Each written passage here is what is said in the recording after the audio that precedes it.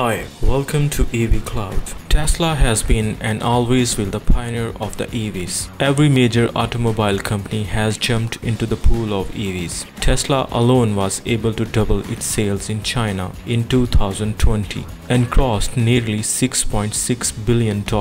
However, Tesla is no longer China's most popular electric car popularity graph is shifted towards the tiny Wuling Hong Guang Mini EV. Wuling Hong Guang Mini EV found 36,700 buyers in January mainly due to the price difference. Even after Tesla ramped up production at a new plant in Shanghai, this mini EV is taking control of the market. This four-passenger Wuling Mini hit the market last July.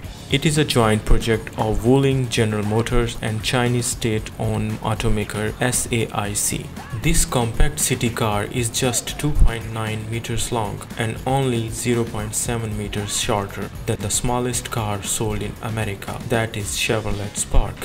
Well, Wuling is no match for Tesla, whether it comes to space, tech, range, or performance. However, the Tesla, which starts from $36,000 in China, can't even come near the Wuling's price, which is just $4,500 or $6,000 with a larger 13.9 kilowatt hour battery. Wuling Mini has a modest 20 kilowatts 27 horsepower, 85 Newton meter of torque, 18.5 Newton meter of peak torque, 100 km per hour top speed and 170 kilometers of driving range. Ironically, the price of Wuling Mini is more in line with motorcycles and that made it a bestseller in the world's biggest market for both cars and electrified vehicles. You can get an idea of how EVs are taking over the auto market in the world by just checking the last year's stats. In 2020, around 25.1 million cars were sold in China and 5.4% were new electric vehicles.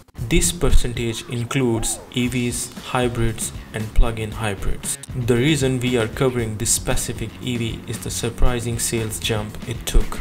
After the launch in July 2020, the Wuling Mini found 200,000 buyers in its first 200 days.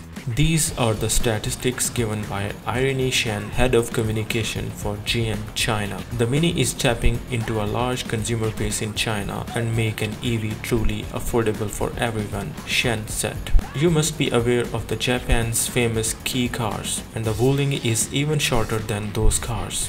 It is designed to negotiate tight city streets and tighter parking. The space is so brilliantly designed that it can fit 4 passengers with room for two 26-inch suitcase or a stroller when rear seats are folded.